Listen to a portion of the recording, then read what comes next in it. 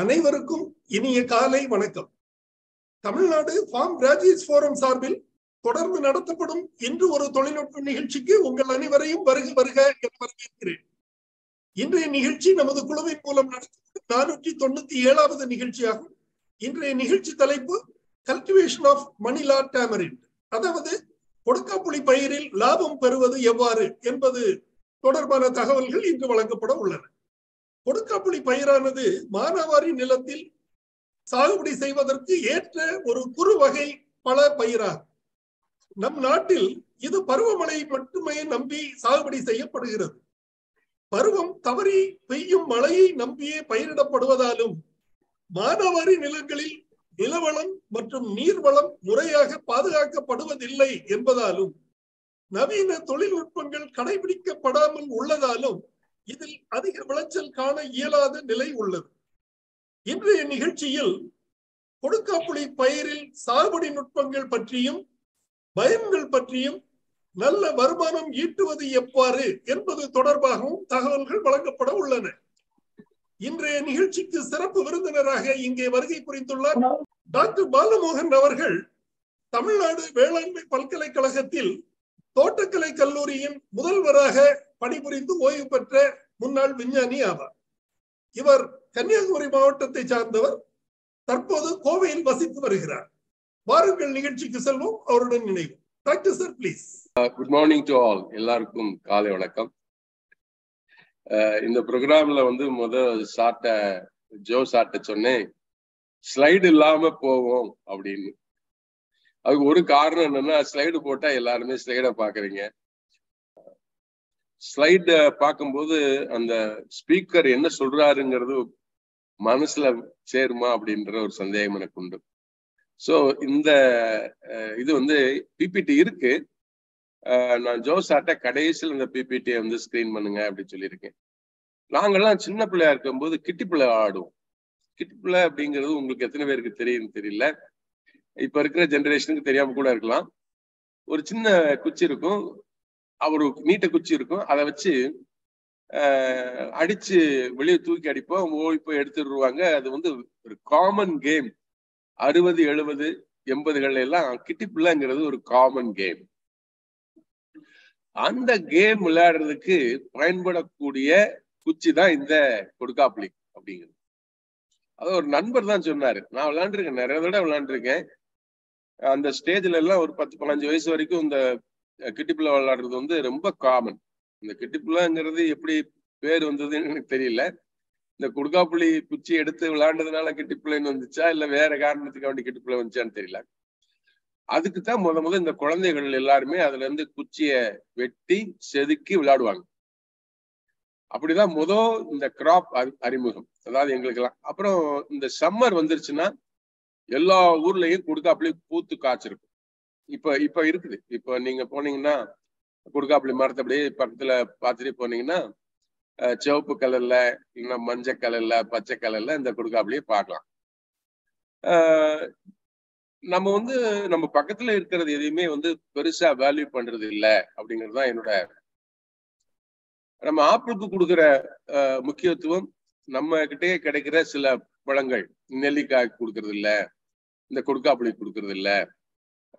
ஏன் மாம்பழத்தை கூட ஆப்பிள் விலையை கம்பேர் பண்ணும்போது ஆப்பிள் நூத்தி ஐம்பது ரூபாய் இரநூறு ரூபாய்க்கு வாங்குறோம். ஆனா மாம்பழம் நூறு ரூபான்னு சொன்னோடனே அப்படியே பின் தான் பின்வாங்கிடுறோம் நம் நமக்கு எளிதாக நம்மளோட இருக்கக்கூடிய கிராப்பை வந்து நம்ம ரொம்ப பெருசா வேல்யூ பண்றது இல்லை. ஒரு காலத்துல என்ன சொல்லணும்னா நம்ம அம்மா அப்பா கூட முக்கியம் இல்லாத மாதிரி தான் தோடுவாங்க ஏன்னா நம்ம பக்கத்துல இருக்கிறதுனால. நான் நிறைய சொல்லியிருக்கேன். இந்த கண் இமை எவ்வளவு முக்கியங்கிறது நம்ம யாருமே உணர்றதே கிடையாது. வித்தவுட் அந்த கண் இல்லைன்னு வச்சுங்களேன் உங்களால வாழ்க்கையில எதுவுமே செய்ய முடியாது. ஒவ்வொரு தடவையும் ஒரு ஒரு ஒரு ஒரு ஒரு ஒரு பத்து செகண்டுக்கு ரெண்டு மூணு தடவை இமைப்போம். மூணு நாலு தடவை கூட இமைப்போம். இமை இல்லாமல் வாழவே முடியாது. ஆனா இமைக்கு நாம் கொடுக்கக்கூடிய மதிப்பு ரொம்ப கம்மி. அது மாதிரிதான் நாம் நாம் சார்ந்த இடங்கள்ல இருக்கக்கூடிய பொருட்களோ இல்ல பழங்களோ இதை வேணா எடுத்துங்களேன். அதுக்கு நாம கொடுக்கக்கூடிய மதிப்பு ரொம்ப கம்மி. அப்படிப்பட்ட ஒரு பயிராகி போய்விட்டது இந்த கொடுக்காப்பிளை அப்படிங்கிறது. இந்த கொடுக்காப்பிளை அப்படிங்கிறது ஆங்கிலத்துல மணிலா டேமரின் அப்படின்னு சொல்லுவாங்க. Manila tamarind. இந்த மணிலா டேமரின் அப்படிங்கிறது வந்து இங்க கிடைக்கிற ஒரு உழைந்த இல்லையில உருவான ஒரு பயிர் அல்ல. இது வந்து சென்ட்ரல் அமெரிக்கா மெக்சிகோ பிரேசில் அங்கிருந்து பெறப்பட்ட ஒரு பயிர். இது நம்மளோட நேட்டிவ் பயிர் கிடையாது. பட் ஆனா என்ன பெரிய பெரிய அதிசயம்னா இங்க வந்து அந்த பயிர் தன்னை வந்து நிலைநிறுத்தி கொண்ட நிலை பாத்தீங்கன்னா அதோட பாத்தீங்கன்னா ரொம்ப அழகா இருக்கும். அதாவது எங்க எதுவுமே பராமரிக்கப்படாம ஒரு இடம் இருக்கோ அந்த இடத்துல கொடுக்க அப்படியே பார்க்கலாம். அப்படின்னா என்ன அப்படின்னா இது ஒரு மானாவாரி பயிர். எந்த உதவியும் தேவையில்லை. அதாவது அதை வந்து நம்ம தண்ணி ஊற்றி பார்க்கணும் அப்படிலாம் ஒண்ணுமே கிடையாது. போட்டா அது மாதிரி வந்துடும் இதுல ஒரு பெரிய பியூட்டி என்னன்னா இந்த மரத்தோட உயரம் வந்து அஞ்சு அடி இருக்குன்னு வச்சுங்களேன். வேர் பத்து அடி இருக்கும். அதனாலதான் நீங்க தண்ணி விடலைன்னாலும் மண் மண்ணோட ஆழ் பகுதியில் சென்று கீழே இருக்கிற நீரை எளிதாக எடுத்து தண்ணீர் காப்பாற்றிக் கொள்ளும் கொஞ்சம் ஹெல்ப் பண்ணீங்கன்னா நல்லா காய்க்கும். ஹெல்ப் பண்ணீங்கன்னா மரம் அப்படின்னு நின்று இதை விட ஃபாஸ்டா குரோ ஆகிற மரங்கள் எதுவுமே கிடையாது. ரொம்ப ஃபாஸ்டா குரோ ஆகும். ஒரு பத்து வருஷத்துல எல்லாம் நீங்க பாத்தீங்கன்னா இந்த மரம் வந்து பெரிய மேசிவா வந்து நிற்கும் இது இதனுடைய அருமை அப்படின்னா இந்த பழங்களை தவிர ஆடுகள் இது வந்து ஒரு சிறந்த ஆட்டுக்கு ஒரு சிறந்த உணவு. ஆடுக்கு ரொம்ப விரும்பி சாப்பிடக்கூடிய இலை எனக்கு தெரிஞ்சு எல்லாம் என்ன செய்வாங்கன்னா ஆடை மேய்க்க முடியல அப்படின்னா அங்கங்க இருக்கிற ரெண்டு மூணு கிளைகளை வெட்டி எனக்கு மொத்தமா கட்டி அந்த ஆட்டுக்கு முன்னாடி கட்டி விட்டுருவாங்க. ஆடு பாட்டுக்கு அந்த இலைய தின்னுட்டே இருக்கும். அவ்வளவு ருசியா இருக்கும் போல இருக்கு நமக்கு தெரியல. ஆனா இலைக்கு தண்டுக்கு அதே மாதிரி பட்டைக்கு நிறைய வேல்யூ உண்டு சொல்றாங்க. மெடிசினல் ப்ராப்பர்ட்டி இதுக்கு உண்டு. ஆனா நம்ம ஃபுல்லா அதை வந்து எக்ஸ்ப்ளோர் பண்ணல அப்படிங்கறதுதான் உண்மையை சொல்ல போனோம்னா அதான். இப்ப அதனுடைய பொட்டானிக்கல் நேம் அப்படின்னு பாத்தீங்கன்னா பித்தகுலோபியம் டெல்சி அப்படின்வாங்க இதுல இன்னொரு பெரிய அட்வான்டேஜ் என்னன்னா இந்த பயிர் வந்து நைட்ரஜன் பிக்சிங் அப்படிங்கக்கூடிய காத்துல கிடைக்கக்கூடிய நைட்ரஜனை பிக்ஸ் பண்ணி வேர்ல வச்சு எதுக்கு இதை சொல்ல வந்தேன்னா நியூட்ரிஷன் அப்படிங்கிற அந்த உணவு கொடுக்கறதுல நைட்ரஜனே இதுக்கு வேண்டான்னுவாங்க. நானும் யோசிச்சு பார்த்தேன் என்னடா நிறைய ட்ரையல்ஸ் எல்லாம் போட்டிருக்காங்களா? இதை பார்த்து பார்த்தா ஒண்ணுமே பெருசா ட்ரையல் போடவே இல்லை. ஏன்னா தனக்கு வேண்டியதை தானே பெற்றுக்கொள்ளும். அதை அதாவது சிந்தசைஸ் பண்ணக்கூடிய ஒரு பயிர். நைட்ரஜன் ஃபிக்சிங் அதனால ரெக்கமெண்டேஷன் பாத்தீங்கன்னா கொஞ்சோண்டு பாஸ்பரஸ் மட்டும் போடுங்க பொட்டாஸ்லாம் போட வேண்டாம் அப்படின்னு சொல்லுவாங்க. இது இதுக்கு தனியான ஒரு பெரிய ரெக்கமெண்டேஷன் ஒண்ணுமே கிடையாது. இப்போ இந்த பயிருக்குள்ள போகும் இந்த பயிர் வந்து பொட்டானிக்கல் என்ன சொல்லுவாங்கன்னா பித்தகுலோபியம் டெல்சி அப்படிங்கிறது கொஞ்சம் முள் இருக்கும். இதுல வந்து மானாவாரி அப்படிங்கக்கூடிய பயிர் அதுக்கு ஏற்ற ஒரு பயிர். மற்றது எல்லாத்துக்குமே வந்து நீர் வேணும் அப்படின்னு சொல்லுவாங்க. இது வந்து மழை காலத்துல நட்டு விட்டுட்டு விட்டுட்டீங்கன்னா போதும். அது பாட்டுக்கு இருக்கும். கொஞ்சம் நல்லா மழை பெஞ்சது அப்படின்னா அந்த வருஷம் நல்ல காய்ப்பு இருக்கும். பூக்கள் எப்ப தோணும் அப்படின்னா பிப்ரவரி அந்த ஜனவரி பிப்ரவரியில வந்து இப்போ காய்க்கு காய்ப்புக்கு வந்துடும் ஒரு மூணு மாசம் நாலு மாசம் ஆகும். இந்த டைம்ல காப்பி போடும் இது வந்து ஆகஸ்ட் வரைக்கும் சில தடவை தொடரும். ஏன்னா சில இடங்கள்ல பூக்கள் முன்னாடி பூக்கிறதுக்கு வாய்ப்பு இருக்கு. கொஞ்சம் பின்னாடி வர்றதுக்கு வாய்ப்பு இருக்கு. அப்படியே தொடர்ந்து கிட்டத்தட்ட ஆகஸ்ட் அதாவது ஜூன் ஜூலை வரைக்கும் இந்த காய்கள் மார்க்கெட்ல கிடைக்கும். நான் முத முத வந்து இது எல்லாமே சாப்பிடுவோம். எல்லாமே கிடைக்கும். யாராவது ஒருத்தர் மதுரைக்கு போயிருந்தீங்கன்னா அந்த தெப்பக்குளம் பக்கத்துல அந்த தமுக்க மைதானத்துல ஒரு லேடி வச்சுக்கிட்டு இருப்பாங்க. இதை இது இந்த பயிரை பத்தி பேசணும் அப்படின்றது எனக்கு என்ன ஆசை அப்படின்னா எனக்கு இது ரொம்ப பிடிக்கும். குடுக்காப்புளி வந்து நான் கிலோ கணக்குல வாங்கி சாப்பிடுற ஒரு ஆள்ல நானும் ஒரு ஆள். என் ஒய்ஃப் தான் சொல்லுவான் நிறைய சாப்பிடாதீங்க அப்படின்னு. எங்க அம்மா தான் சொன்னது ஞாபகம் இருக்கு. ஏய் பித்தம்டா அப்படின்வாங்க பித்தமும் கிடையாது ஒண்ணும் கிடையாது. நான்லாம் அரை கிலோ சாப்பிடுவேன் சர்வசாதாரணம். சோ நான் வந்து இந்த இந்த தமுக்க மைதானம் வழியா போகும்போது ஒரு லேடி இருக்கு. நான் அக்ரிகல்ச்சர் காலேஜ்ல இருந்து நான் ஏதாவது சிட்டிக்குள்ள போகணும்னா அது வழிதான் போவேன். என் ஒய்ஃப் சொல்லுவாங்க அந்த வழி போருக்கு நீங்க இந்த வழி போறீங்கன்னு ஏன்னா இந்த வழியில தான் அந்த கொடுக்காப்புளி லேடி உட்காந்துருக்கு ஆல் த டைம் அப்ப நான் போய் அந்த கொடுக்காப்புளி லேடிட்ட போய் கேட்பேன். எவ்வளவு அப்படின்னு கேட்டானா எனக்கு தெரிஞ்சு என்னோட ஞாபகத்துக்கு இரநூத்தி ஐம்பது ரூபா முந்நூறு ரூபாய்க்கு குறைஞ்சு ஒரு தடவை கூட ஒரு கிலோ கொடுத்தது கிடையாது. குறைஞ்சது இரநூத்தி ஐம்பது ரூபா. கொஞ்சம் நல்ல பளபளன்னு வந்த அன்னைக்கு ஆரம்பிச்சுன்னா முந்நூறு ரூபா சொல்லுவோம் அந்த லேடி அப்ப நான் சொல்லுவேன் இவ்வளவு காசு சொல்றேன் சாமி உனக்கு விருப்பம்னா வாங்கிக்கோ. ஆளுக்கு நிறைய வருது. நான் முந்நூறு ரூபாய்க்கு விற்கிறேன் அப்படின்னா டிமாண்ட் இல்லாமல விற்பேன். அப்படின்னு. ஸோ அந்த லேடிகிட்ட வாங்கிட்டு போவேன். எனக்கு தெரிஞ்சு அது வச்சிருக்கிறது வந்து ரொம்ப இனிப்பா இருக்கும். நார்மலா சொல்லுவாங்க கொடுக்காப்புல தின்ன உடனே கொஞ்சம் தண்ணி குடிக்கணும் அப்படின்வாங்க ஏன்னா தொண்டையை காவும். ஏன்னா கொடுக்காப்புளிக்கு மூணு சுவை உண்டு. ஒண்ணு இனிப்பு சுவை துவர்ப்பு சுவை கொஞ்சம் புளிப்பு சுவை. வைட்டமின் கொஞ்சோண்டு இருக்கும் வைட்டமின் சி இருக்கு. இந்த மூணு சுவையும் ஒருங்கே பெற்ற பழம் தான் இந்த கொடுக்காப்புளி. அந்த மாட்ட வாங்குற பழத்துல ஒரு தடவை கூட நான் வண்டி ஓட்டிக்கிட்டே சாப்பிட்டுட்டு போவேன். என்ன வீட்டுல உட்காந்து சாப்பிட்டு தண்ணி குடிக்கணும்னு அவசியமே இருக்காது. அவ்வளவு இனிப்பா இருக்கும். முழுங்கி போய் எங்க போய் தொண்டையில நிற்கும் கிடையவே கிடையாது.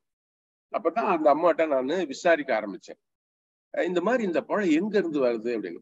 இது அழகர் கோவில்ல இருந்து வருது அப்படின்னா. அப்புறம் அப்படியே தேடி போறும்போது அழகர் கோயில்ல ஒரு நாலஞ்சு விவசாயிகள் அந்த மலைகள்ல மலை அடிவாரத்துல போடுறாங்க. அவங்களாம் நல்ல வசதியா இருக்கிறாங்க. நான் இப்ப ஏன் சொல்ல வரேன்னா வசதியா இருக்கிறாங்க ரொம்ப சொன்னோம்னா அவங்க என்ன என்ன அடிக்க வந்துருவாங்க. சார் ஏதோ அவங்க குழப்பம் நடத்துற நீங்க போய் பேச்சுல ரொம்ப வசதியா இருக்குன்னு சொல்லிட்டீங்களே சார். ஏன்னா அதுல இருந்து கிடைக்கக்கூடிய காய்கள் இவங்களுக்கு இந்த அம்மாவுக்கு இரநூத்தி ஐம்பது ரூபான்னா அவங்களுக்கு நூறு நூத்தி ஐம்பது ரூபா கிடைக்கும். ஒரு மாதிரி சர்வசாதாரணமா நாற்பது கிலோ ஐம்பது கிலோ எல்லாம் காய். ஒரு ஒரு ஒரு அஞ்சு வருஷ பயிர் வந்து நாற்பது ஐம்பது கிலோ காய்க்கும் அப்படின்னா ஒரு மரத்துல இருந்து எவ்வளவு கிடைக்கும் பாரு ஒரு ஒரு ரெண்டு மூணு மாசத்துக்கு முன்னாடி ஒரு நண்பர் வந்து விருதுநகர் பக்கத்துல இருந்து பாண்டியன் நினைக்கிறேன் அவர் பேர். என்னை கூப்பிட்டார். சார் நான் பேர் பாண்டியன் நான் இருக்கேன். சொல்லுங்க அப்படின்னு நான் கொடுக்காப்புளி போட்டிருக்கேன். நீங்க எங்கெல்லாம் பாக்குற போதெல்லாம் கொடுக்காப்புளி போடுங்க எல்லாம் சொல்லுவீங்களாமே? அப்படின்னு சொல்லிட்டு என்கிட்ட சில டிப்ஸ் கேட்டார். எப்ப பூ பூ பூக்கணும்னா என்ன செய்யணும்? அந்த சமயத்துல கொஞ்சம் இரிகேஷனை ஹெல்ப் பண்ணணும். அதாவது நிறுத்தி வைக்கணும். பூத்த பின்னாடி என்ன பண்ணணும்? என்னென்ன உரம் கொடுக்கணும்? அப்படின்னு பேசினார். அப்ப நான் அவர்கிட்ட கேட்டேன். எப்படி இது சார் நல்ல பயிர் சார். வெளியே சொல்லாதீங்க சார். நிறைய பேர் போட்டா விலை குறைஞ்சு போகும் சார். அதாவது என்ன ஆகும்னா இனி ஒரு பயம் இருக்கு. நான் எனக்கு ஒரு நம்பிக்கை உண்டு. ஏழு கோடி ஏழரை கோடி இருக்கிற மக்கள்ல இவ்வளவு பேர் நிறைய எத்தனை போட்டாலும் திங்கிறதுக்கு ஆள் இருக்கு. அதுக்கெல்லாம் இல்லைன்னு சொல்ல முடியாது. இருந்தாலும் வந்து விவசாயிக்கு ஒரு ஒரு பயம் உண்டு. மார்க்கெட்ல நிறைய வந்துருச்சு அப்படின்னா இன்னைக்கு கிடைக்கிற பணம் குறைஞ்சிருமோ அப்படின்ட்டு. அப்படி வேண்டியதில்லை இன்னியும் பத்து இருபது வருடங்களுக்கு வரைக்கும் இன்னும் பெருசா வந்துட போறதில்லை. எதுக்கு சொல்ல வரேன்னா ஒரு நண்பர் எனக்கு ஃபோன் பண்ணி இந்த மாதிரி கொடுக்காப்புல எல்லாம் இருக்கிற பேசிட்டு இருக்கும்போது சொன்னாரு சார் துவக்கிற கொடுக்காப்புல இருக்கா? அப்படின்னு கேட்டார். நான் கேட்டேன் எதுக்கு துவக்கிற கொடுக்காப்புளின்னு கேக்குறீங்கன்னு? சென்னையில அதுக்கு ஒரு வேல்யூ இருக்கு சார். அது மெடிசனல் அப்படிங்கிறதுனால ஒரு கிலோ நானூறு ரூபாய்க்கு மேல விற்குது சார்ன்றாங்க. அப்போ என்ன நமக்கு வேண்டியது அப்படின்னா எங்க தேவைப்படுகிறது எந்த மாதிரி பழங்கள் தேவைப்படுகிறது அப்படிங்கிற இன்ஃபர்மேஷன் ரொம்ப அவசியம்.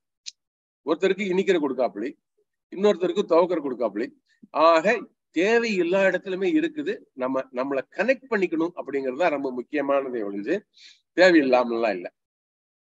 எதுக்கு சொல்ல வரேன்னா போன வாரம் நான் தான் முதல் சொன்னேன் பத்து பதினஞ்சு நாளைக்கு முன்னாடி ஆர்எஸ் புரத்துல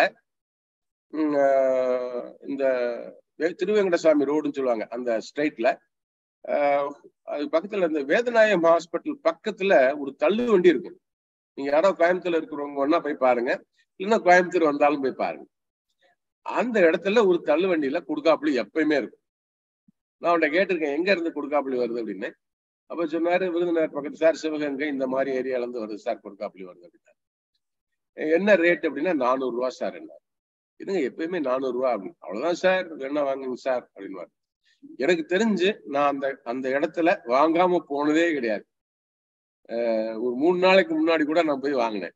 நானூறு ரூபா பிக்சட் பிரைஸ் ஆனா என்ன என்னன்னா இன்னும் இந்த செயின் ஸ்டோர்ஸ்ல இன்னும் வரல. இப்ப அந்த ஆள் போட்டு ரெகுலரா வித்துட்டு இருக்காரு. பெரிய பெரிய செயின் ஸ்டோர்ஸ்ல எல்லாம் வரல.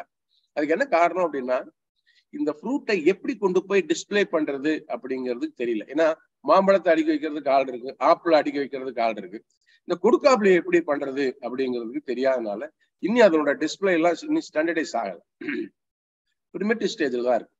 ஸோ இப்போ இந்த கொடுக்காப்புளி அப்படிங்கிறத எப்படி சாகுடி பண்றது அப்படின்னு பார்க்கலாம். நான் முதவே சொன்னேன் இது வந்து மெடிசினல் வேல்யூ அப்படின்னு பாத்தீங்கன்னா பயங்கர மெடிசினல் வேல்யூ இதுக்கு உண்டு. என்னென்னா இந்த வயிற்றுப்போக்கு இருக்குது வச்சுங்க டயேரியா இந்த டயேரியா டிசென்ட்ரிக்கு இது வந்து ஒரு பெரிய மருந்து. டயேரியா டிசென்ட்ரிக்கு கொடுக்காப்புல ஒரு பெரிய மருந்து. இதுக்கு இலையை பயன்படுத்துவாங்க அந்த பார்க்கை பயன்படுத்துவாங்க அந்த ஃப்ரூட்ஸும் பயன்படுத்துவாங்க. ஆக இது வந்து ஒரு ஒரு ஒரு அருமருந்து வயிற்றுல பிரச்சனை வந்துச்சுன்னா கொடுக்காப்புளி வந்து ஒரு பெரிய அதே மாதிரி ஆன்டி இன்ஃபிளமேட்டரின்னு சொல்லுவாங்க. புண்ணு வந்து அப்படியே ஆறாம இருக்கு அப்படின்னா இந்த இலைய அரைச்சு அந்த புண்ணு மேல போட்டா புண்ணு ஆறிப்போம் அந்த மாதிரி ஒரு பெரிய அந்த ஆத்திர ஒரு குணம் வந்து சொல்லுவாங்க. அது மாதிரி வயிற்றுல புண்ணு இருந்தாலும் சாப்பிடுங்கன்னு வயிற்றுல அல்சர் இருக்கு. அப்படின்னு சொன்னா அந்த அல்சருக்கும் இந்த இலை வந்து ஒரு பெரிய அதே மாதிரி இன்னொன்னு சொன்னாங்க எனக்கு ரொம்ப ஆச்சரியமா இருந்தது. இந்த கொலஸ்ட்ரால் வந்து ரெகுலேட் பண்றது இது பெஸ்ட் அப்படின்னாங்க. இந்த கொலஸ்ட்ரால் உள்ளவங்களுக்கு இந்த இது வந்து கொடுக்காப்புளி வந்து ரொம்ப சூப்பர் ஃபுட்டுனாங்க. இப்போ நான் ரெகுலரா சாப்பிடுவேன். எனக்கு நான் அப்பப்போ டெஸ்ட் பண்ணும்போது நல்லா இருக்கும்னு தான் சொல்லுவாங்க. பட் என்ன ஒன்னே ஒன்று it is not available throughout the year ஒரு சீசன்லாம் கிடைக்கும். த்ரூ அவுட் த இயர்ல கிடைச்சா நல்லா இருக்கும்னு நினைப்பேன். ஆனா கொஞ்சம் நம்ம கரெக்டா ஃபர்டிலைசர்லாம் கரெக்டா கொடுத்தோம்னா பிப்ரவரி மார்ச்ல ஆரம்பிச்சு ஆகஸ்ட் வரையும் கொண்டு போகலாம். ஆல்மோஸ்ட் ஒரு சிக்ஸ் மந்த்ஸ் வரைக்கும் என்னோட அவைலபிலிட்டி எக்ஸ்டெண்ட் பண்ணலாம். அந்த மாதிரி ஒரு ஃப்ரூட் அதே மாதிரி இது ஆன்டி ஆக்சிடென்ட் இதுல நிறைய இருக்கு அப்படின்னா. அதே மாதிரி ரெட் பிளட் கார்பசல்ஸ் இது இன்க்ரீஸ் பண்றதுக்கு கொய்யா வந்து ஒரு பெரிய இது கொடுக்காப்புளி வந்து ஒரு பெரிய ஃபுட்டு நல்லா இருக்கும் ஆன்டி ஆக்சிடென்ட்டும் அதே மாதிரி ரெட் பிளட் காப்பசஸ் இருக்கும். அதே மாதிரி லங்ஸ் ரிலேட்டடான டிசீஸ் எல்லாம் கியூர் பண்ணுதுன்றாங்க. லங்ஸ் ரிலேட்டட் எல்லா பிரச்சனைகளும் அதே மாதிரி ரத்த வாந்தி எடுக்கிறவங்களுக்கு இது ஒரு சிறந்த மருந்துங்கிறாங்க. இதுக்கு ஆக்சுவலி பேசிஸ் என்னன்னு சொல்லல. ரத்த வாந்திக்கு இது வந்து சிறந்த மருந்து அப்படிங்கிறாங்க. நான் முதல் சொன்ன அல்சருக்கு இது சிறந்த மருந்து. அதே மாதிரி சுகர் இருக்கிறவங்களுக்கு அந்த பிளட் சுகரை ரெகுலேட் பண்ணுங்கிறாங்க. நான் ரொம்ப சாப்பிடுவேன் எனக்கு சுகர் இருக்கு பட் நான் கொடுக்காப்புளி அப்படின்னா கிரேஸ் ஆஃப் கொடுக்காப்புளி. நான் பேச ஆரம்பிச்சதுக்கு காரணமே வந்து எனக்கு இந்த பழத்தை பத்தி ஒரு பத்து பேர்ட்ட கொண்டு போய் சேர்க்கணும். எனக்கு ஒரு சுயநலம் உண்டு. எப்படின்னா நிறைய பேர் போட்டாங்கன்னா விலை குறைஞ்சு நம்மளுக்கு கிடைக்குமே அப்படின்னு கூட ஒரு சுயநலம் உண்டு. அதனால வந்து இந்த பிளட் சுகரை வந்து இது ரெகுலேட் பண்ணுது அப்படின்னாங்க அப்படிப்பட்ட இந்த பழம் வந்து வைட்டமின் சி வைட்டமின் ஏ நிறைய அமினோ ஆசிட்ஸ் இதுல உண்டு. அதே மாதிரி சிலர் சொல்லுவாங்க பித்தப்பை கல்லீரல் இதுக்கு வந்து இது ஒரு பெரிய ஸ்ட்ரென்த்தை கொடுக்கறது இதுக்கு இது வந்து இந்த பழம் அப்படின்வாங்க அதே மாதிரி தொண்டையில புண்ணு புற்றுநோய் அதுக்கெல்லாம் இது ஒரு பெரிய மருந்துன்னு சொல்லுவாங்க. இன்னொரு பெரிய ஆச்சரியம் என்னன்னா இந்த விதைய அரைச்சு மூஞ்சியில ஒரு மாதிரி பூசணும்னா பருக்கள் இந்த மாதிரி சின்ன சின்ன பிம்பிள்ஸ் எல்லாம் வரான்றாங்க சீடுக்கு வந்து அவ்வளவு ஒரு வேல்யூ இருக்கு அப்படின்னாங்க. விதைகள்ல இருந்து இது ஒரு பேஸ்ட் மாதிரி தயாரிச்சு இப்படிப்பட்ட ஒரு சிறந்த பயிர் பல பயன்கள் உள்ள ஒரு பயிர் வந்து இது என்னன்னா கிராமத்துக்குள்ளேயே ரெஸ்ட்ரிக்ட் ஆயிப்போச்சு கிராமத்துல இருக்கிறவங்களுக்கு கொடுக்காப்புல ஒரு பழமே கிடையாது. பப்பாளி பழம் மாதிரி. இது என்னத்த பெருசா அப்படின்வாங்க இதுக்கு ஏகப்பட்ட மெடிசனல் ப்ராப்பர்ட்டிஸ் இருக்குது. இதை வந்து கிராமத்துல இருந்து நகரத்துக்கு எடுத்துட்டு போனோம்னா இதுக்கு பெரிய வேல்யூ இருக்குது. இதுல ரெண்டு மூணு பேர் சொல்றவங்களா இருக்காங்க. இந்த இதுல சிவகாசில லவ்லி கார்ட்ஸ் அவங்க வந்து போட்டிருக்காங்க. எக்ஸ்க்ளூசிவா கொய்யா இது இந்த கொடுக்காப்புளி வந்து ஒரு மூ ரெண்டு மூணு ஏக்கர்ல எக்ஸ்க்ளூசிவா போட்டிருக்காங்க ஹை டென்சிட்டி பிளான்டிங்ல அது மாதிரி நான் சொன்ன பாண்டியன் அப்படிங்கிறது. அது மாதிரி நிறைய பேர் இருக்காங்க. விருதுநகர் சிவகங்கை அதுல வந்து பெஸ்ட் வெரைட்டிஸ்லாம் அந்த அந்த ஏரியால இருக்குது. ஏன்னா அந்த ஏரியா வந்து கொஞ்சம் ட்ரை ஸ்பெல்லா இருக்கிறதுனால அந்த இடத்துல வந்து கொடுக்காப்புளி வந்து இயற்கையாகவே நல்லா வரும் இயற்கையாகவே அதாவது வந்து அது ஒரு மாதிரி நேட்டிவ் பிளேஸ் மாதிரி அது ஆகிப்போச்சு அதுக்கு அந்த மாதிரி நல்லா வரும். இது ரொம்ப முக்கியமானது என்னன்னா நிறைய மினரல்ஸ் இதுல இருக்கு. பாஸ்பரஸ் கால்சியம் ரொம்ப அதிகமா இருக்கிறது வந்து பொட்டாசியம் பொட்டாசியம் மினரல் வந்து இதுல வந்து எக்ஸலண்டா இருக்கும் அதே மாதிரி riboflavin niacin sulphur vitamin A thiamine இந்த மாதிரி நிறைய வந்து மனிதனுக்கு வேண்டிய உணவு சத்துக்கள் அப்படிங்கிறது இந்த பயிர்ல நிறைய இருக்குது. இது வந்து எந்த இடத்துல எல்லாம் வரும் அப்படின்னா எல்லா இடத்துலயும் வரும். சரி இதை விட இன்னொன்னு சொல்லணும்னா ஒரு நானூறு எம்எம் கீழே மழை இருந்தா கூட அதாவது மிகவும் வறட்சியான இடத்தில் வரும். ஒண்ணு மிகவும் வறட்சியான இடம். தண்ணி மழையே இல்லை. என்ன செய்யணும்? மழை பெய்யற சமயத்துல நட்டு விட்டுறணும். ஏன்னா ஆஹ் முதவே தண்ணி ஊத்தலைன்னா அப்புறம் அந்த கண்ணு உட்கார்ந்து போயிடும் ஸோ அந்த ரெய்னி சீசன் மான்சூன் ரீசன் சீசன்ல நட்டு விட்டுட்டீங்கன்னா அப்புறம் அது சப்சிக்வெண்டா நான் தான் சொன்னேன் ஒரு அடி உயரமா இருந்துச்சுன்னா ரெண்டு அடிக்கு கீழே வேர் இருக்கும். அஞ்சு அடி உயரமா இருக்கிற பயிர் வந்து பத்து அடிக்கு கீழே வேர் இருக்கும். இது மாதிரி வேற வெளி அனுப்பி மண்ணின் அடிப்பகுதியில் இருக்கக்கூடிய நீரை அந்த அந்த இதை வந்து வெளியெடுத்து தன்னை காப்பாத்திக்கிற மாதிரி இந்த மாதிரி ஒரு பயிரே கிடையாது. இதுக்கு இன்னொன்னு இன்னொன்னு வெயில் அடிக்கிற போது இலைகள்லாம் கொஞ்சம் மாதிரி கீழே அப்படி சரிச்சு விட்டுரும் இல்லைன்னா நெத்திக்க நெத்திக்கும். அப்படி விடும்போது என்ன ஆகும்னா இலை கரியாது. அதாவது இந்த வெப்பத்தை எப்படி எப்படியெல்லாம் சமாளிக்கணும் அப்படிங்கிற தந்திரங்கள் இந்த பயிருக்கு உண்டு. அது எப்படின்னாலும் சமாளிச்சு. வெயில் இருக்கு ஹாட்டா இருக்கு எல்லாம் எல்லாம் வெப்ப காத்து அடிக்குது. தன்னை சமாளிச்சுக்கிறதுக்கு இந்த பயிர் மாதிரி வேற வேற பயிரே கிடையாது. ஸோ இது வந்து ஒரு ஒரு ட்ரவுட்டுக்கு இதை விட சிறந்த பயிர் வேற எதுவுமே இல்லை. கொஞ்சோடு தான் தண்ணி இருக்கு. ப்ராப்ளி இந்த இந்த பயிரை போடலாம். அதே மாதிரி வேலிகள்ல போடலாம். ஒரு காலத்துல இந்த கொடுக்காப்புல எப்படி யூஸ் பண்ணிட்டு இருந்தாங்கன்னா வேலிகள்ல நெருக்கி நட்டு ஒட்டை வெட்டி இறுக்கிடுவாங்க இந்த முள்ளை தாண்டி ஒரு விலங்குகளும் இந்த தோட்டத்துக்குள்ள வர முடியாது. இட்ஸ் எக்ஸலண்ட் பயோ ஃபென்ஸ் இத மாதிரி ஒரு பயோபென்ஸ் வேற எதுவுமே கிடையாது. இப்பயும் சொல்லுவாங்க சிலதெல்லாம் இதெல்லாம் சொல்லுவாங்க கலாக்கா யூஸ் பண்ணலாம். அதே மாதிரி சின்ன சின்ன முள்ளு இருக்க செடிகள்லாம். இது வந்து எக்ஸலண்டா இருக்கும். என்ன ஒண்ணுன்னா தண்ணி விட வேண்டியதில்லை. அதான் வந்து பென்ஸ் மாதிரி வந்துடும் உள்ளுக்கு எந்த விலங்குகள் வந்து ஒரு சொல்ல போனா ஒரு முயல் கூட முண்டி வர முடியாது. அந்த அளவுக்கு திக்கா வந்துடும் அப்படிப்பட்ட ஃபென்ஸ் தான் முன்னாடி எல்லாம் இருந்தது. அப்புறம் அதுக்கு முன்னாடி மரமா விட்டோம். மரத்துல இருந்து காய் எடுக்க ஆரம்பிச்சோம் இப்பதான் வந்து கமர்ஷியலா இந்த பழங்கள் மார்க்கெட்ல மிகச்சிறந்த விலையில் விற்கப்பட்டு வருகின்றன. அதனால இதுக்கு வந்து ஒரு நானூறு எம்எம் இருந்தா கூட அதுக்கு கீழே இருக்கிற இடத்துல கூட இது வரும். வெப்பம் முப்பத்தஞ்சு நாற்பது நாற்பத்தஞ்சு டிகிரி வெப்பம் இருந்தால் இதை தாங்கக்கூடிய பயிர் இது. இதுல இன்னொரு ஒரு பெரிய அட்வான்டேஜ் பாத்தீங்கன்னா நாங்க சிவகாசியில் நட்டிருக்கோம். அங்க நீரோட ஈசி வந்து எலக்ட்ரிக்கல் கண்டக்டிவிட்டி வந்து ஆறுல இருந்து ஏழு. ஒன்னு இருந்தாவே சிக்கல். ரெண்டு சிம் ரொம்ப சிரமம். மூணுன்னா பயிரே போட முடியாது. நாலுன்னா அந்த இடத்துல விவசாயமே பண்ண முடியாது. இதுதான் இப்ப இருக்கக்கூடிய ஒரு கைட்லைன் ஆனா எவ்வளவு ஈஸி இருந்தாலும் அட்டகாசமா வருது. இல்ல இந்த பயிர்கள்ல ரெண்டு வகை பயிர்கள் சொல்லுவோம். இத நான் இந்த ஈஸின்னு சொன்னதுனால இந்த இந்த இந்த தகவலை உங்கள்கிட்ட கொடுக்குறேன். எப்படின்னா சால்ட் இன்க்ளூடர் சால்ட் எக்ஸ்க்ளூடர் பயிர் வந்து உப்பு அதிகமா இருந்தா என்ன செய்யும்? இப்ப உப்பு அதிகமா உப்பு தண்ணியா இருந்தா நம்ம என்ன செய்வோம் குடிக்க மாட்டோம். அப்படி கண்டிப்பா குடிக்கணும்னா உதாரணத்துக்கு ஒரு கால் லிட்டர் குடிக்கணும்னு நினைக்கிறோம்னு வச்சுங்களேன்.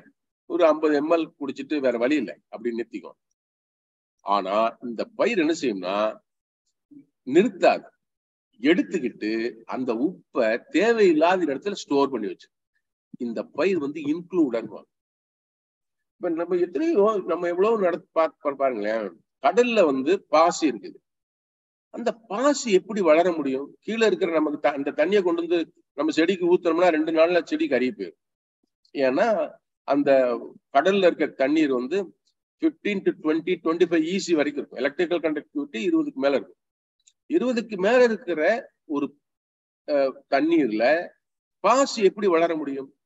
அப்படின்னா பாசி அந்த நீரை எடுத்து தனக்கு வேண்டிய உணவு சத்துக்களை பயன்படுத்திக்கிட்டு தேவையில்லாத உப்புக்களை ஒரு இடத்துல கொண்டு போய் சேர்க்கும். வேக்யூல் அப்படின்னு பேர் அந்த இடத்துல.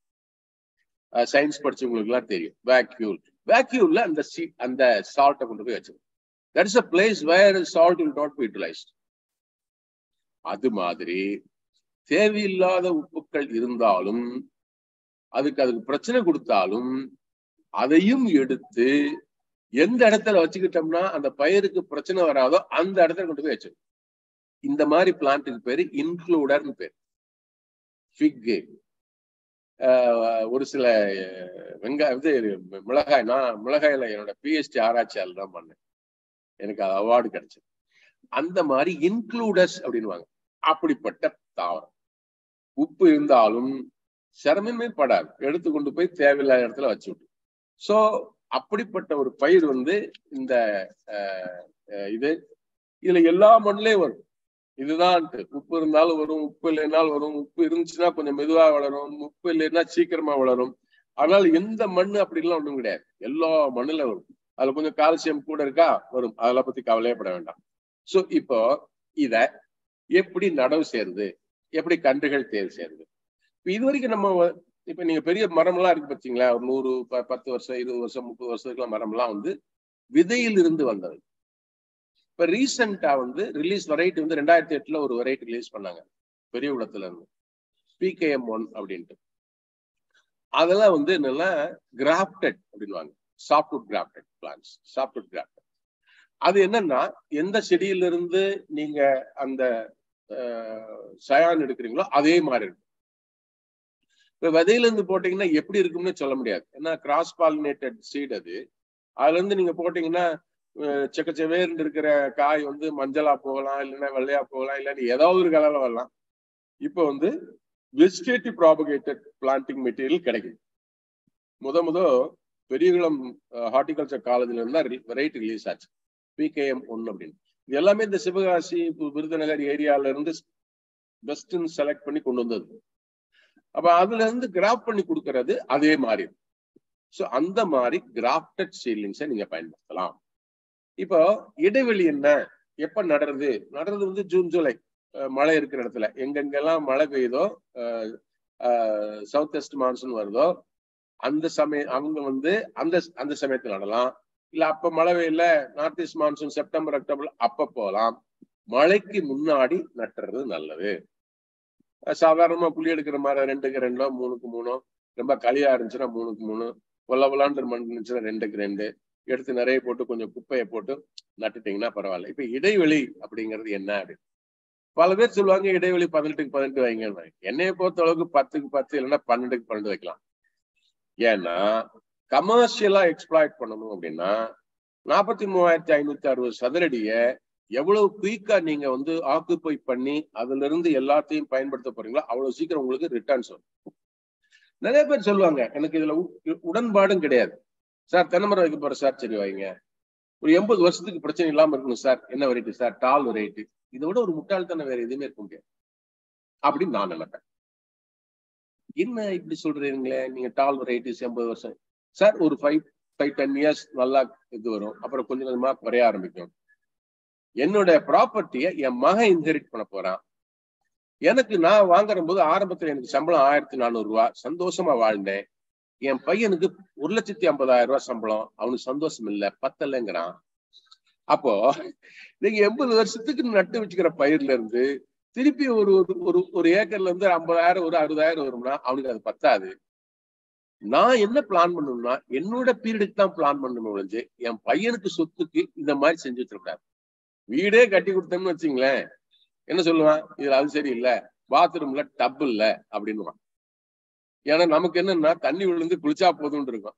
அவனுக்கு டப்பு வேணும்னு இருக்கும். சோ பிளான் பண்றது யாருமே அவங்களுக்கு அளவுக்கு தான் பிளான் பண்ணணும் ஒழிஞ்சு எண்பது வருஷத்துக்கு பிளான் பண்ற மாதிரி ஒரு முட்டாள்தனம் எதுவுமே இல்லை.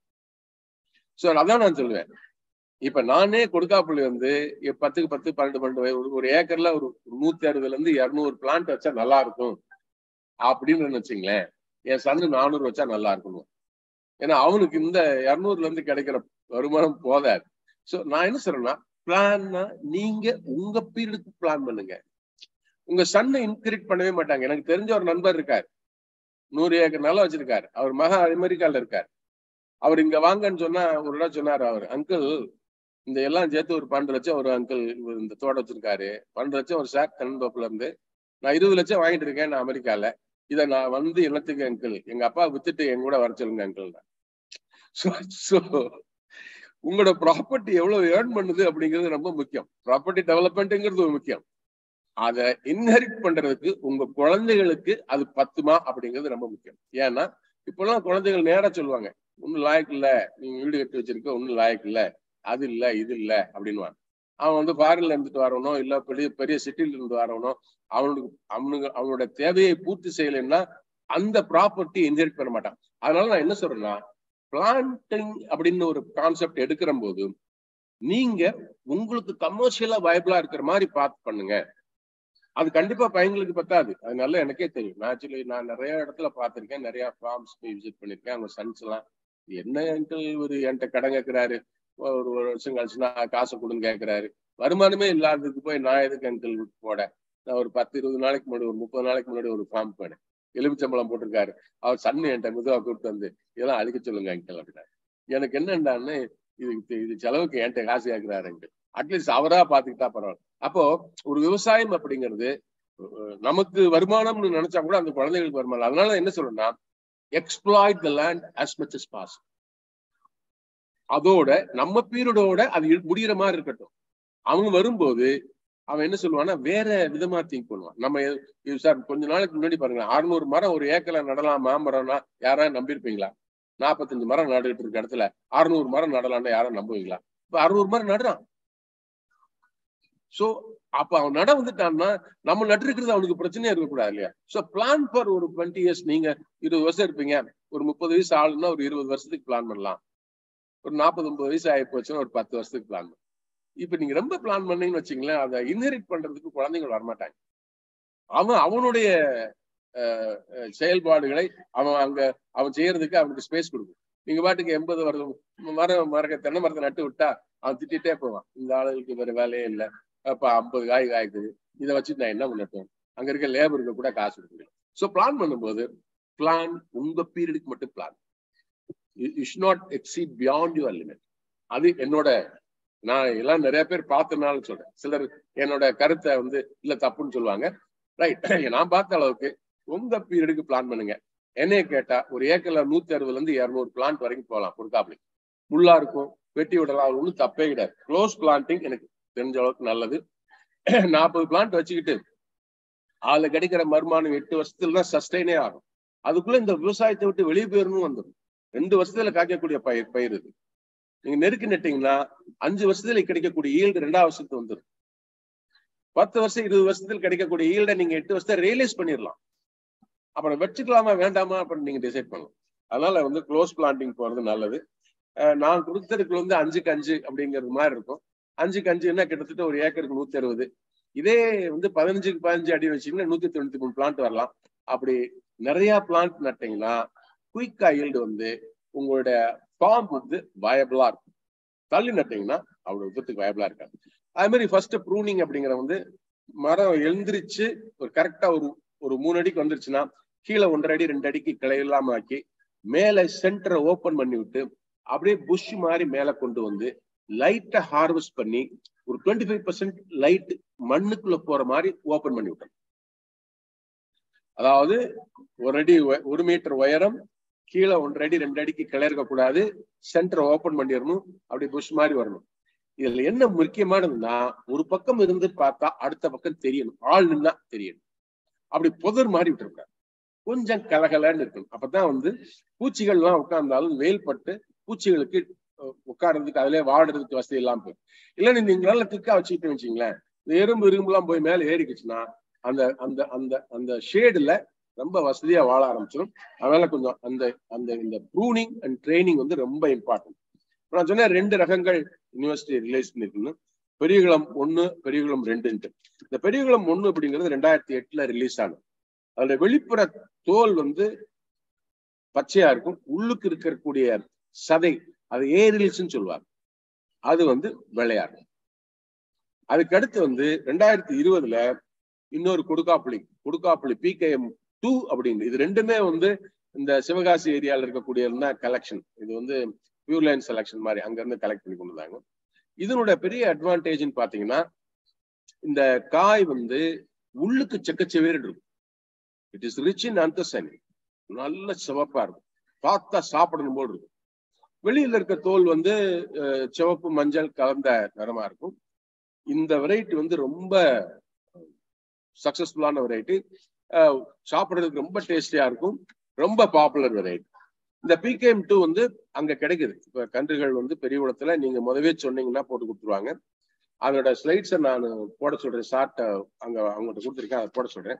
அவனோட அட்வான்டேஜஸ் எல்லாம் பாத்துக்கலாம் இதுக்கு இடையில ஊடு பயிராகவும் போடலாம். நீங்க இந்த இந்த பயிரை போட்டிருக்கேன். வேற இன்னும் சில கடலை போடலாம் சீசன்ல என்னென்ன பயிர்கள் ஊடு பயிரா இந்த கொடுக்காப்புளிக்கு உடையில போட முடியுமோ போடலாம். இதே ஊடு பயிரா சில இடத்துல பயன்படுத்துறாங்க. சில ஹில்ல சப்டரைன்ஸ் அதாவது சப் மவுண்டைன் ஏரியால இது ஒரு ஊடு பயிரா பயன்படுத்துவாங்க. ஊடு பயிரா அந்த நிழல் கொடுக்கறதுக்காக வேண்டிய பயன்படுத்துவாங்க. ஆனா என்ன ஒண்ணா அதுல இருந்து காய் வந்து எடுத்து ரொம்ப பயன்படுத்துறது இல்லை. எனக்கு இந்த பயிர் நினைக்கும் போது ரொம்ப சந்தோஷமா இருக்கும்போது முன்னாடி என்ன சொல்லுவாங்கன்னா ஒரு ஒரு புஸ்தகத்துல நான் படிச்சேன். தர்மர் அவர் எழுதின புஸ்தகத்துல விவசாயி வந்து விவசாயம் பண்ணிட்டு நெல்லை எடுத்துட்டு பாறைகள்ல போய் அந்த மணிகளை தூவிவாங்க. அது எதுக்குன்னா அந்த குருவிகள் சாப்பிடுவதற்கு. அப்பதான் கேட்டேன் குருவி எல்லாம் சாப்பிடணும்னு. குருவி இருந்தா தான் இந்த பயிர்கள்ல இருக்கக்கூடிய பூச்சிகளை தின்னுவாங்க. சார் ஒரு சைக்கிளா இருந்ததை நிறைய பிரேக் பண்ணிட்டோம். இன்னைக்கு வந்து நான் வந்து ஒரு இருபது நாளைக்கு முன்னாடி ராஜஸ்தான் போயிருக்கும் போது ஏகப்பட்ட குருவிகளை பார்த்து ரொம்ப சந்தோஷப்பட்டேன். சிட்டுக்குருவி சார் ராஜஸ்தான்ல ஏகப்பட்ட குருவி. ஒரு லாட்ஜில் தங்கியிருக்கும் போது ஐ வாஸ் சோ ஹாப்பி அப்ப நான் பக்கத்துல போய் பார்க்கும்போது அந்த குருவிகளுக்கு வேண்டிய உணவை அந்த ஹோட்டல்காரன் போட்டுட்டு இருக்கான் வனாந்தரத்துல ஒரு குருவிக்கு யார் சார் கூட்டு கொடுப்பா? இந்த மாதிரி யாராவது நாலஞ்சு நல்ல விவசாயிகள் கொடுக்காப்புளி போட்டா அதை வந்து திண்டு போகும் நல்ல மனோமுந்த சிறந்த விவசாயிகள் பாறையில கொண்டு போய் நெல் தானியங்களோ ஏதோ தானியங்களை தாட்டா அது சாப்பிட்டு போகும். ஆக நம்மளோட இருக்கக்கூடிய சக ஜீவராசிகள் வாழணும் அப்படின்னா அது சாப்பிடுறதுக்கான பயிர்களும் நம்மோட இருக்கணும். எனக்கு இந்த இதுல உண்டு எனக்கு உண்டு. கொடுக்காப்புளி போட்டா ஒரு நூறு குருவி சந்தோஷமா இருக்கு. அதே மாதிரி சொல்லுவாங்க ஒரு பயிர் வந்து என்னன்னா சிங்கப்பூர் செடின்ட்டு. சிங்கப்பூர் செடி கேள்விப்பட்டிருக்கீங்களான்னு தெரியல. இது அப்படியே அப்படியே படர்ந்து இருக்கும் செடி. அதுல கருப்பா பழம் இருக்கும். அந்த செடிகிட்ட பாத்தீங்கன்னா சார் லட்சக்கணக்கான குருவி வந்து விசிட் பண்ணும் ஒரு ஒரு சீசன்ல கிட்டத்தட்ட ஒரு ஒரு லட்சம் ரெண்டு லட்சம் பழங்கள் வரும். கருப்பு கருப்பா கருப்பு கருப்பா இருக்கும்.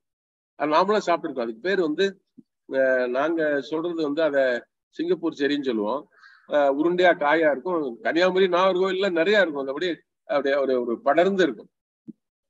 அப்படி சக ஜீவராசிகளுக்கும் இது உதவியா இருக்கும் அப்படிங்கிறது ரொம்ப முக்கியமானது. நம்ம ஒரு இந்த விளை நான் சொல்றேன் ஒரு நாற்பது ஐம்பது கிலோ விளையுது ஒரு அஞ்சு நாலஞ்சு கிலோ அந்த அதில் திண்டு போறதுல ஒன்றும் தப்பு இல்லையே அப்படிப்பட்ட சகர் ஜீவராசிகளுக்கும் உணவாக பயன்படுவது அப்படிங்கிறது ரொம்ப முக்கியமான ஒண்ணு. இதை ஊடுபயிரா பயன்படுத்தலாம். சில இடங்கள்ல இது வந்து மல்டிடயர் சிஸ்டத்துல இது ரொம்ப கன்ஜீனியல் கிராப் அது மாதிரி தண்ணின்னு எடுத்துக்கிட்டீங்கன்னா தண்ணி நட்டு ஒரு மூணு வருஷம் மூணு மாசம் நாலு மாசத்து வரைக்கும் காப்பாத்திட்டீங்கன்னா போதும் தானா இனிஷியல் ஸ்டேஜ்ல மட்டும் நீங்க பார்க்கணும். அது இப்படி தானா வந்துடும் அப்புறம் நீங்க நல்லா பராமரித்தீர்களேனால் ஒரு ஒரு மரத்துல இருந்து தொண்ணூறு கிலோ வரைக்கும் மகசூல் கிடைக்கும். சார் தொண்ணூறு கிலோ ஒரு கிலோ நூறு ரூபாய்க்கு வித்தீங்கன்னா என்ன ஆச்சுன்னு பார்த்தீங்க? எங்கேயோ போயிடும். அதனால இதுல ட்ரீ நல்லா இது பண்ணீங்கன்னா பராமரிச்சீங்கன்னா இதுக்கு உரங்கள் அதை பத்தி எல்லாம் ஆராய்ச்சிகள் ரொம்ப கம்மி. என்ன சொல்றாங்க? குப்பை போடுங்க. ஒரு ஐம்பது கிலோ குப்பை போடுங்க. ஒரு அரை கிலோ வரைக்கும் சூப்பர் பாஸ்பேட் போடுங்க. ஏன்னா சூப்பர் பாஸ்பேட் வந்து இந்த மரங்களுக்கு கிடைக்காது. மற்றதெல்லாம் ஒன்றும் வேண்டாங்கிறதா இது வரைக்கும் இருக்கிற ஆராய்ச்சி. நம்ம கொஞ்சம் இன்னும் கொஞ்சம் நல்லா பராமரிச்சோம்னா நல்ல மகசூல் வருவதற்கு வாய்ப்பு இருக்கிறது. ஏதாவது வந்து ப்ரூன் பண்ணலாம். அப்பப்போ அந்த ஈல்டு முடிஞ்சனே லேசாக ப்ரூன் பண்ணி அதை கொஞ்சம் கலைச்சி விட்டுட்டு அப்படியே ஃபர்டிலைசர் வச்சிங்கன்னா அடுத்த சீசன் நல்லா இருக்கும். பூ பூக்கிறது நான் முதலே சொன்னது மாதிரி டிசம்பர் ஜனவரியில் ஆரம்பிச்சு ஈவன் பிப்ரவரி வரைக்கும் கூட வரும். காய்க்கிறது ஆரம்பிக்கிறது இந்த சீசன்ல கிடைக்குது. இப்ப நார்மலா மார்ச்ல ஆரம்பிச்சு ஆகஸ்ட் வரைக்கும் வரும். இது பூவுல இருந்து காயாவதற்கு மூன்று மாத நாட்கள் அதாவது தொண்ணூறு நாள் ஆகும். எண்பது நாள் எண்பத்தஞ்சு நாள் வந்து தொண்ணூறு நாள் வரைக்கும் வரும். நான் சொன்னது மாதிரி மகசூல் வந்து நாற்பது கிலோல இருந்து தொண்ணூறு கிலோ வரைக்கும் வரும். இல்ல அறுவடைக்கு மட்டும் அதெல்லாம் சொன்னேன்னா கொஞ்சம் கலைச்சி விட்டு கொஞ்சம் ப்ரூனிங் எல்லாம் பண்ணி கவாத்து கரெக்டா பண்ணீங்கன்னா நீங்க குச்சியில இழுக்கிற மாதிரி தான் இருக்கும் அப்படி அந்த மாதிரி பண்ணிக்கலாம். பின்சை நேர்த்தி அப்படிங்கிறது ஒண்ணுமே பெருசா இல்லை. இது வந்து ஒரு மாதிரி டிமாண்டிங் கிராப் கிடையாது. இந்த மாதிரி பராமரிச்சோம்னா நான் சொன்ன மாதிரி ஒரு நூத்தி ஐம்பது மரம் இருந்துச்சுன்னா ஒரு மரத்துல கிட்டத்தட்ட குறைஞ்சது ரெண்டாயிரம் ரூபாய்க்கு பழம் எடுக்கலாம். மூணு லட்ச ரூபா. இதுல பெரிய செலவு ஒண்ணுமே கிடையாது. ஆனா அதை வந்து அதோட தேவைக்கு தகுந்த மாதிரி அப்பப்போ பார்த்து கொஞ்சம் உரங்கரங்கள் கொடுத்து ஒன்னோ ரெண்டோ இரிகேஷன் கரெக்டாக அந்த ஃபெர்டிலைசர் அப்ளிகேஷன் ஃபெர்டிலைசர் போட்டு தண்ணி விடாம பண்ண முடியாது. அப்படிலாம் பண்ணீங்கன்னா எனக்கு தெரிஞ்சது ஒரு பெரிய ஃப்ரூட் இன்னொன்னு என்னன்னா நம்ம நல்ல உணவெல்லாம் கொடுக்குறோம். நியூட்ரிட்டிவ் ஃபுட் அப்படிங்கிறது ரொம்ப முக்கியமானது. சாப்பிட்றது வந்து சக்கையான அரிசியா இல்லை நல்ல சாப்பாடா? கைக்குத்தல் அரிசி சிறந்ததுன்றாங்க. அது மாதிரி நியூட்ரிட்டிவ் ஃபுட் இது. பழங்கள் சாப்பிடுறது குழந்தைகளுக்கு வந்து ரொம்ப நல்லது. மெமரி பவர்ல இருந்து ஹெல்த்துக்குல இருந்து இந்த மூஞ்சி பழபலான் இருக்கிறதுல இருந்து அவ்வளவு வந்து அது வந்து ஒரு ஒரு பெஸ்ட் ஃபுட்டு வந்து ஃப்ரூட்ஸ் ஆல் இது ஒரு பெரிய இது. வறட்சியிலிருந்து கிடைக்கிறதுனால இதுல கிடைக்கக்கூடிய உணவு சத்துக்கள் அபரிமிதமானது அபரிமிதமானவை. ஏன்னா உணவு சத்துக்களை இந்த மரம் தேடி சென்று பெறுகிறது. கீழே போய் வேர்ல அப்படியெல்லாம் கஷ்டப்பட்டு வருது அப்படி அப்படி எடுக்கிற உணவும் அந்த அதனுடைய மருத்துவ குணமும் சிறந்ததாக இருக்கும் என்பதுதான் என்னுடைய தாழ்மையான கருத்து. விவசாயிகள் முன்னுக்கு வரணும். ஒரு பத்து ஏக்கர் இருக்கவங்க ரெண்டு நேத்து ஒரு விவசாயி வந்தாரு பாண்டிச்சேரியில இருந்து. பேசிட்டு இருக்கும்போது சொன்னாரு சார் நான் ஒரு ரெண்டு ஏக்கர் போடணும் அப்படின்னாரு. எனக்கு போன் நம்பர் கொடுங்க. எங்க அதை வாங்குறது? வாங்குங்கிறாரு இப்போ மிகவும் மகிழ்ச்சியாக இருக்கிறது. விவசாயிகள் வந்து இந்த மாதிரி நம் நம்மிடம் இருக்கக்கூடிய சிறந்த சத்துள்ள பழப்பயிர்களை எடுத்துட்டு போறது வந்து எனக்கு என்னன்னா நமக்கு பின்னாடியும் இந்த பழங்கள் வந்து நம்மளோட சந்ததிகளுக்கு கிடைக்கணும்னு ரொம்ப அவசியம். அது அது ரொம்ப முக்கியமானது. நம்ம நான் நான் சந்தோஷமாக இருந்ததை என்னோட ஜென்ரேஷன் எடுத்துட்டு போகணும் அப்படிங்கிறது எவ்வளவு முக்கியம். அது மாதிரி இந்த பழங்கள் எல்லாம் வந்து அன் அண்டர் யூட்டிலைஸ்ட் அப்படிங்கிற குரூப்ல இருக்குது. இதை நீங்க பணத்துக்காக வேண்டி அதை வந்து வளர்த்தாலும் வரக்கூடிய ஜெனரேஷனுக்கு பயனுள்ளதாக இருந்துச்சுன்னா அது ரொம்ப நல்லது. ஏன்னா இன்னைக்கு கொஞ்ச நாள்ல வந்து கொடுக்கா அப்படின்னா என்னன்னு கேட்க கேட்டாங்கன்னா ரொம்ப வருத்தமா இருக்கு. ஸோ அந்த மாதிரி இது எல்லாருக்கும் கொண்டு போய் சேர்க்கறதும் இந்த யங்கர் ஜெனரேஷனுக்கு இது டேஸ்ட் பார்க்கறதும் கொடுக்கறதும் ரொம்ப அவசியம். இது பிளண்டான ஒரு டேஸ்ட் ஒரு மாதிரி ஒரு பெருசா இனிப்பா இருக்காது. ஆனா சாப்பிடுறதுக்கு ரொம்ப பிடிக்கும். ஏன்னா நான் அதுக்கு ஒரு பெரிய ரசிகன். எவ்வளவு கொடுத்தாலும் சாப்பிடுவேன் அப்படின்னா பாருங்களேன் நான் அந்த தமுக்க மதானத்தை என்றையும் நான் மறந்ததே இல்லை. அந்த ஓரத்துல இப்ப நான் போனேன்னா மெட்ராஸ் மதுரைக்கு போனா கண்டிப்பா அந்த வழியா போய் அந்த அம்மாட்ட கொடுக்காப்புல வாங்காம போக மாட்டேன். அதே மாதிரி நீங்க மதுரையில இருந்து உசிலம்பட்டி போற வழியில அந்த ரயில்வே கேட்டுக்கிட்ட கண்டிப்பா இருக்கும் போய் கொடுத்தா. எப்போ இருக்கும்? So there are places where you can get this fruit very easily அந்த மாதிரி பழங்களை நம்ம குழந்தைகளுக்கு பழக்குவதும் சாப்பிடுவதும் ரொம்ப அவசியம். இந்த வாய்ப்புக்கு நன்றி கூறி விடைபெறுகிறேன். ஷார்ட்டா கொஞ்சம் ஸ்லைட்ஸ் இருக்கு. ஏன்னா அந்த கொடுக்காப்புல யார் சிலர் பார்த்துருக்க மாட்டாங்க. அந்த ஸ்லைடை வந்து ஜோ சார் ரன் பண்ணாருன்னா நல்லா இருக்கும். போட்டு எஸ் அப்படியே போலாம் சார்.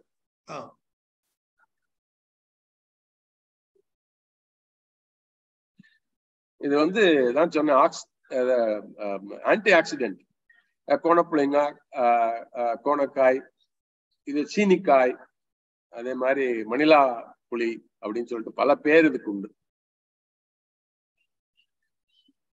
அடுத்து சார் இந்த இந்த நியூட்ரியன்ஸ் எல்லாம் நிறைய இருக்கு சார். பொட்டாசியம் வந்து வெரி ரிச் இருநூத்தி இருபத்தி ரெண்டு முன்னூத்தி இருபத்தி ஏழு கிராம்.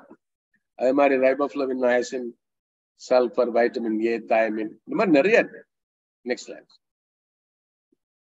வெப்பமண்டல பெயர் ரொம்ப தண்ணி கம்மியா இருந்தாலும் பரவாயில்ல. நெக்ஸ்ட் லைட் சார் தரிசு நிலத்துக்கு ஏற்றது. இதுக்கு ஒன்றும் பெரிய செலெக்ஷனே கிடையாது சார் எங்க வேணாலும் நடலாம். எங்க வேணாலும் நடலாம்.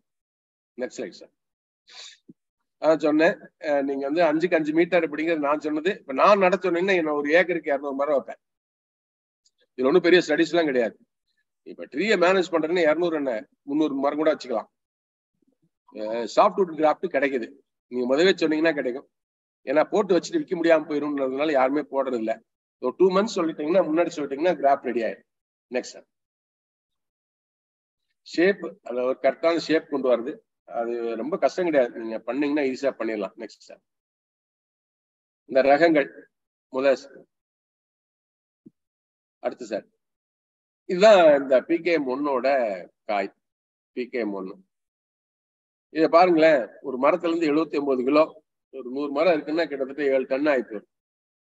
ஸோ அதனால நீங்க அந்த மாதிரி பார்த்து பண்ணீங்கன்னா நல்லா இருக்கும். நெக்ஸ்ட் ஸ்லைட் சார் இது அதோட டிஸ்கிரிப்ஷன் எவ்வளோ நாள் எவ்வளோ கிலோ அப்படின்ற டிஸ்கிரிப்ஷன் தான். அந்த வெரைட்டியை பற்றி நெக்ஸ்ட் ஸ்லைட் சார் இதுதான் பிகேஎம் டூ அந்த ஏரில்ஸ் பாருங்களேன். சாப்பிட பார்த்தோன்னே சாப்பிடணும் போல இருக்கும் நெக்ஸ்ட் லைக் சார் அது இந்த ட்ரீ அந்த ஏரியல்ஸ் அதெல்லாம் இருக்கிறது இது அந்த ப்ராப்பர்ட்டிஸ் அந்த வெரைட்டியோட ப்ராப்பர்ட்டிஸ் நெக்ஸ்ட் லைட் சார் இது ஊடுபயிராக பயன்படுத்தலாம். இது இதுக்குள்ள ஊடுபயிர் போகலாம். இதுவே வந்து மல்டி கிராப்பிங் சிஸ்டத்துல ஊடுபயிராக ஆகும் சப்மௌண்டைன் ஏரியால நெக்ஸ்ட் லைட் சார் தண்ணி ஒன்றும் பெரிய பிரச்சனையே கிடையாது சார் இருந்தால் நல்லா இருக்கும் இல்லைனாலும் நல்லா இருக்கும். நெக்ஸ்ட் லைட் சார் உரம் அப்படிங்கிறது ஒரு நாற்பது ஐம்பது கிலோ இது பாம்பியாட் மினியர் ஒரு ஐநூறு ஐநூறு கிராம் ஒரு அரை கிலோ வந்து phosphorus phosphorus single super phosphate மற்றபடி இந்த பூ பூத்து முடிஞ்சு ஆகஸ்ட் முடிஞ்சோடனே இது கொடுப்பாங்க. அப்புறம் காய்ச்சிருக்கும் போது கொஞ்சம் கொடுப்பாங்க. மற்றபடி இதுல ஒன்றும் பெருசா ஆராய்ச்சிகள்லாம் இல்லை. நெக்ஸ்ட் லைஃப் அதாவது ரெண்டாண்டுலேயே காய்க்க ஆரம்பிச்சிடும் டிசம்பர் மே வரைக்கும் அந்த பூக்கள் பூத்துக்கிட்டே இருக்கும். நம்ம ஆகஸ்ட் வரைக்கும் வரும். இது ஒன்னே ஒண்ணு சொல்ல மறந்தது வந்து தேனி இருந்துச்சுன்னா நல்ல செட் ஆகும். ஏன்னா பாலினேஷனுக்கு ரொம்ப நல்லா இருக்கும். அதே மாதிரி பூவுல இருந்து காய்க்கிறதுக்கு ஒரு மூணு மாசம் ஆகும். கோடை காலத்துல இது பெரிய ஒரு வரப்பிரசாதம். இப்ப கிடைக்கும் நீங்க மார்க்கெட்ல போனீங்கன்னா கொடுக்காப்புலயும் கிடைக்கும். நெக்ஸ்ட் லைஃப் சார் அதே மாதிரி மகசூல் நான் சொன்னேன். எழுபது கிலோ ஒரு வர மரத்துக்கு வரும். நீங்க இரநூறு மரம் வச்சுட்டீங்கன்னா பதினாலு டன் வரைக்கும் வரும். நூறு மரம் வச்சுட்டீங்கன்னா ஒரு பதினோரு டன் பக்கத்துல வரும். நெக்ஸ்ட் லைஃப் சார் இதுல பெருசா ஒன்றும் இல்ல இல்ல. அடியில இருந்து வர்றது இந்த மாதிரி வாட்டர் ஷூட்ஸ் மட்டும் ரிமூவ் பண்ணணும். மற்றபடி பெருசா இதுல பென்சை நேத்து ஒன்றும் பெருசா இல்லை. Next light sir thank you நன்றி சார் இதுவரை கல்டிவேஷன் ஆஃப் மணிலா டேமரிட் அதாவது கொடுக்காப்புளி பயிரில் லாபம் பெறுவது எவ்வாறு என்பது தொடர்பான தகவல்கள் வழங்க கேட்டோம். தொகுத்து வழங்கிய டாக்டர் பாலமோகன் அவர்களுக்கு எனது நெஞ்சார்ந்த நன்றியினை தெரிவித்துக் கொள்கிறேன். நல்ல ஒரு கல்டிவேஷன் ஆஃப் மணிலா டேமரின் இது வந்து ஒரு அன்எக்ஸ்ப்ளோர்டு கிராப் சோ இந்த நிகழ்ச்சி மிக முக்கியம் வாய்ந்ததாக கருதப்படுகிறது. நல்ல விலையுள்ள ஒரு uh, பழங்கள் கொடுக்கும் பயிராக உள்ளது. மானவாரி பயிராக இருக்கிறது. அதுக்கு வந்து அதிக அட்டென்ஷன் தேவையில்லை.